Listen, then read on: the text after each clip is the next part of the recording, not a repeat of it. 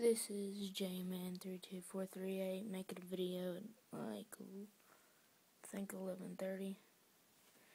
And this is a mess up on Dukes of Hazzard again. So, if you look over here, I'll show you. There's supposed to be like a truck heading their way. And it's supposed to be like a white truck. I'll show you the rest of the video but um, they mess up. Watch. If you look over here. That old truck should be heading your way right so. We're ready and waiting. Out. You heard him, Bart? Let's get set. Now, if you look over there, the truck is already waiting. Okay. I noticed the weirdest things on Dukes of Hazzard. But the truck is already over there waiting.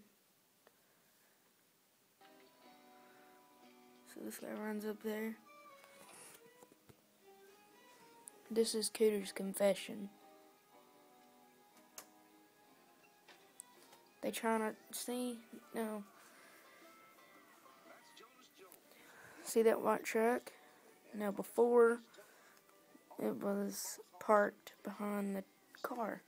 And I'll show y'all that here in a minute again. See? They just start where it was at. So he wasn't driving. See, he just had to pull up. And I'll show you that again.